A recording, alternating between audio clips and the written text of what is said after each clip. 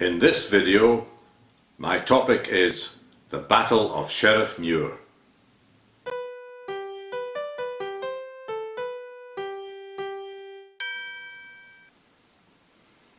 I will be looking at the background to the battle, then how the battle panned out, and finally I will be visiting the site of the battle. First, a bit of historical background. James II was deposed in 1688. He was the last of the Stuarts. He, and then later his son James, known as the Old Pretender, and then even later his grandson Bonnie Prince Charlie, made several attempts to restore the House of Stuart to the British Crown between 1689 and 1746. Support for the Stuarts was stronger in Scotland than in the rest of Britain, and the rebellions often began here. One of these rebellions took place in 1715, which became known as the Fifteen. In this campaign, the Battle of Sheriffmuir was the main encounter between the Jacobites, as the supporters of the Stuarts were called, and the government army. The Jacobite army was led by John Erskine, the Earl of Mar, and the government army was led by John Campbell, the Duke of Argyll. The Battle of Sheriffmuir was a famously inconclusive battle. Neither side won an outright victory. The battle in reality split into two separate battles. And to help us understand the mechanics of this confusing battle, I have drawn up some maps. This is a map of where the two armies were in the early morning of Sunday, 13th of November, 1715. The Jacobites, in yellow, were positioned at Kinbuck. The government army, in purple, were in the grounds of Kippendavie House, modern day Ryland Lodge. The Jacobites spot a small band of government cavalry on the high ground of Sheriffmuir. The Jacobites move a body of horse under the Earl Marshal to dislodge this band of government cavalry.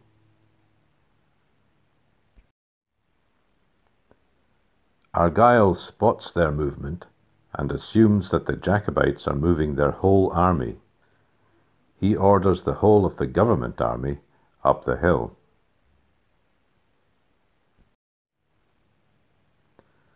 The Earl Marshal sees the whole of the government army moving towards him and sends word back to Mar for assistance. Mar moves the rest of the Jacobite army towards the Earl Marshal.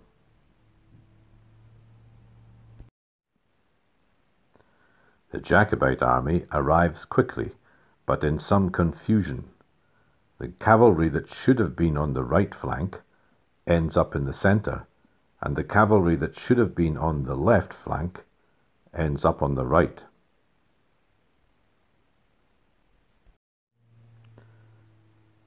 The battle commences, but becomes two separate battles.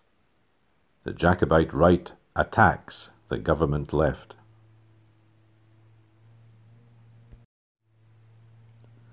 The Jacobites are successful in their charge. The government left turns and flees. The cavalry flee to Dunblane, the infantry towards the Wharrie burn.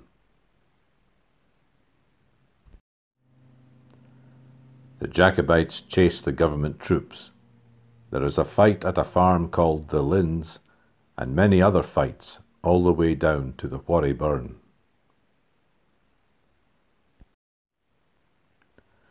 The fleeing cavalry and surviving infantry run all the way to Stirling.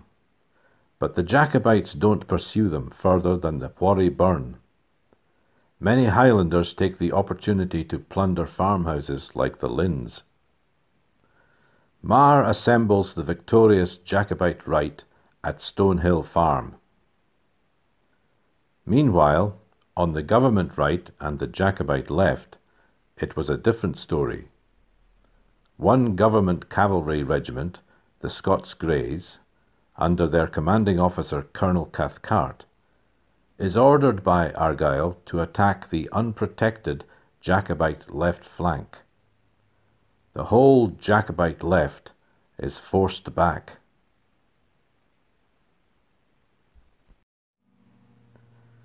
Despite being driven back, the Jacobites make frequent attempts to reform and fight rearguard actions.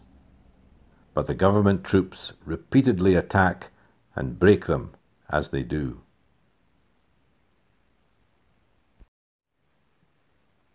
The Jacobites are pushed back all the way to the River Allan. Many drown in the river. Argyle decides to stop the pursuit at this point and return south to Sheriffmuir. Mar moves his Jacobite right wing back onto Sheriffmuir. At this point, neither commander knows what has happened to his left wing and both believe they have won a great victory.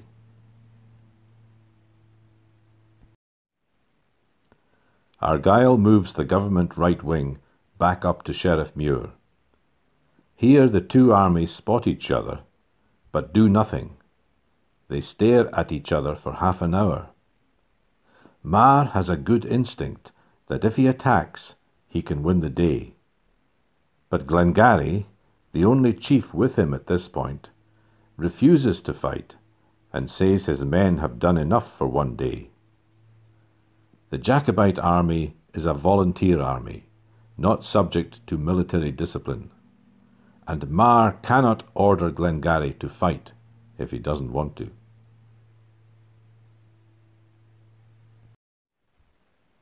Argyle and the government army move off slowly towards Dunblane.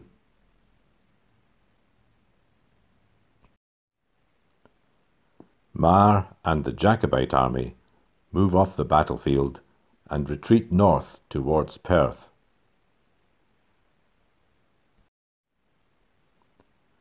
The next day, Argyle takes possession of the battlefield.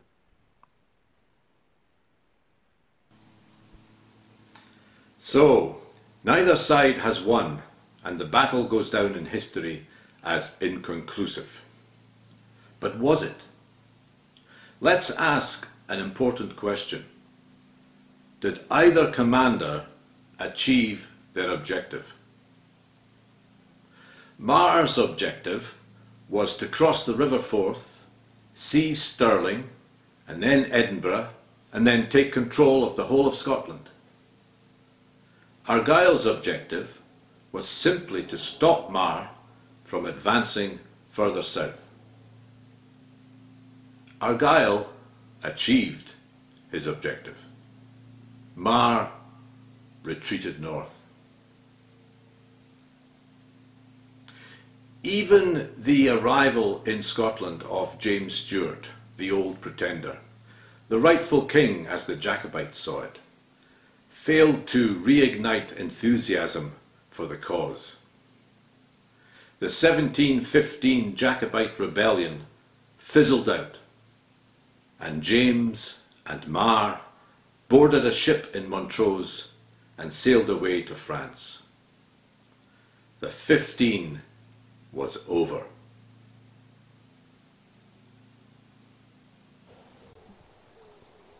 I visited Sheriffmuir on a sunny day in August, quite unlike the frosty, foggy day in 1715 on which the battle was fought.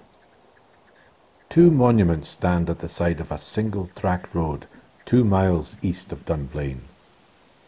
You are immediately struck by the contrast in their sizes. A huge grand memorial to the men of Clan Macrae, and a small modest cairn to commemorate the battle.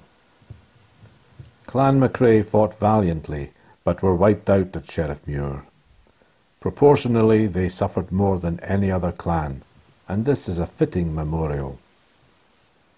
It's a surprise to discover that the cairn commemorating the battle is by comparison so small and wasn't even erected until 2002. I suppose when a battle is neither a glorious victory nor a crushing defeat, it takes you 300 years to decide if you should commemorate it.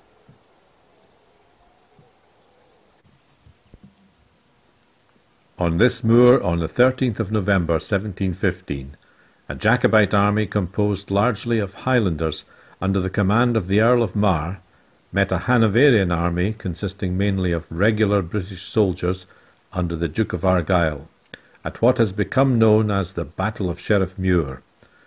The result was indecisive, but Mar's failure to take advantage of Argyll's weakened position in the closing stages of the conflict and subsequent withdrawal from the field contributed to the failure of the rising, known as the Fifteen, in favour of the restoration of the exiled King James the Eighth, the Old Chevalier. There is no visitor centre at Sheriffmuir. Good heritage interpretation can enhance the visitor experience, but all we have here is a sort of bulletin board with pages from a contemporary account of the battle stuck on it. It's written in that old typeface they used in the 18th century with the long S's that resemble F's. I was faced with a decision.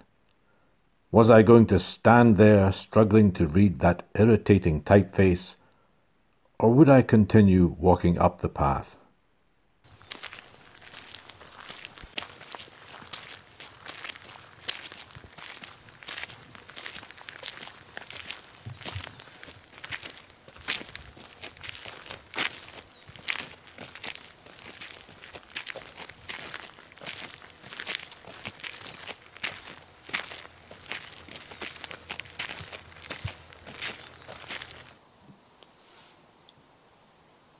The pathway to the Gathering Stone was cleared in 1990 in memory of Laurie Boyd Wilson by his widow.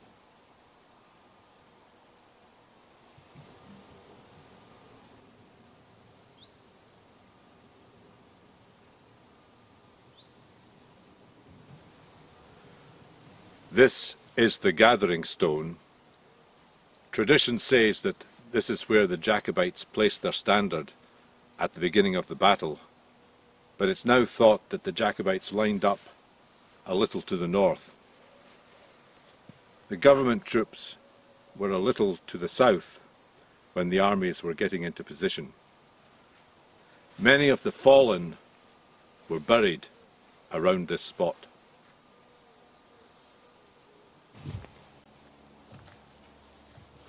The Jacobite right was victorious over the government left and pursued them.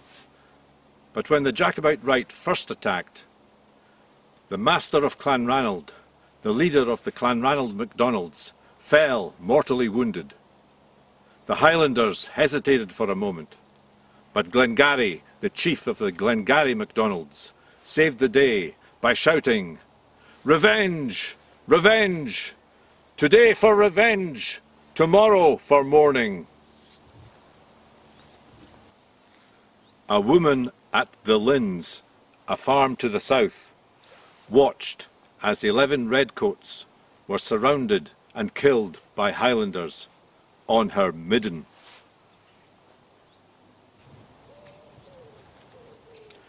A dragoon who had fled to the Wharry Burn about a mile to the south was caught by a dozen Highlanders.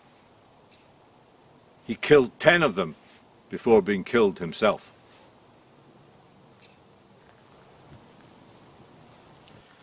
The Jacobite left was routed. They fell back to the River Allan, fighting rearguard actions all the way.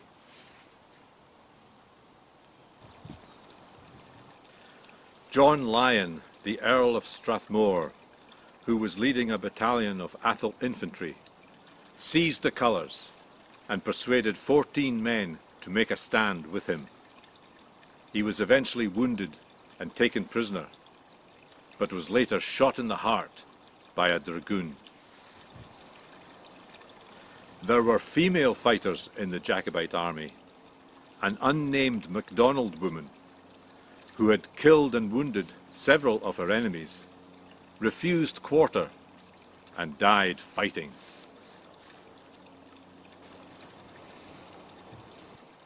Cameron of Lochiel, the chief of the clan Cameron, later gave an interesting account. He was about to give the order to advance when he noticed that all his men were running away. He followed suit, and he did not come across any of his men again until he had crossed the River Allan, about two or three miles further north. Will you go to Sheriffmuir, bold John O'Innisture, there to see the noble Mar and his Hieland laddies? All the true men o' the north, Angus, Huntly, and Seaforth, scouring on to cross the Forth wi' their white cockaddies. There you'll see the banners flare, there you'll hear the bagpipes rare, and the trumpets deadly blare, wi' the cannons rattle. There you'll see the bold Macraws, Camerons and Clanranald's rods, and all the clans with loud huzzas, rushing to the battle. Will ye go to Sheriff Muir, bold John O'Innisture, there to see the noble Mar, and all his healing laddies?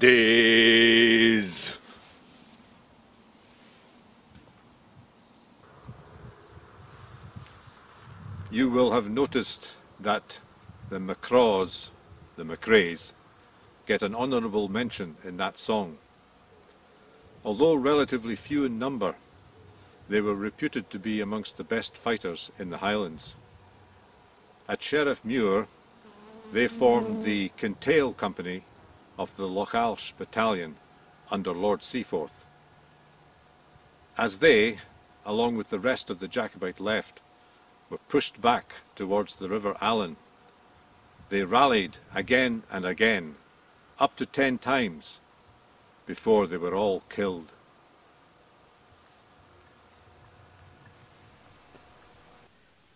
The Clan MacRae Memorial at Sheriffmuir.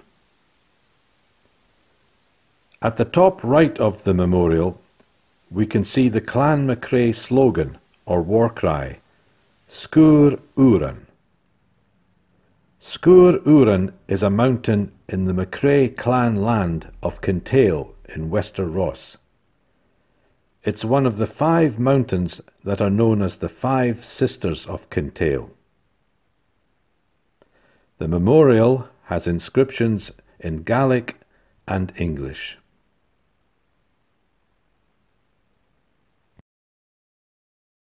Sgwr wran, clan Macri. Mae'r chynechan ydd clan fi cra, y hwt yn ca blar yn tiwrf, Ydd yn tres la diog de hyd fi as y iawri, siach ciad diog agos cog diog, noedd y fath y dian tehe rigal na'n stiwrstach. Fa bwyan yn nyn taliach, agus ina n-ailseach an áirsteadh catha ar scian chlí i ngach gheolaí agus déanfáid seo bheith a mhór chuid le an céim dí láthair ag críoch an lá. Tá an cairn cuimhneachan seo iad a thugáil le Cumann Clann Mhíchcra, iad an tríosláidíag diag agus cog diag.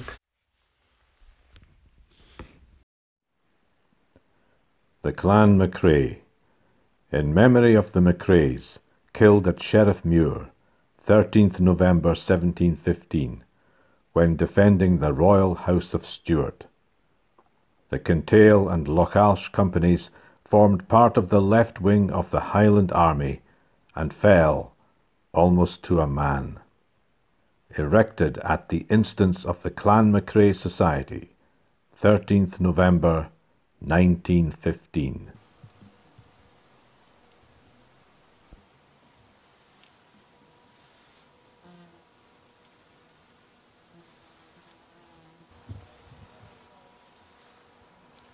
Some say that we won, and some say that they won, and some say that nane won at all man.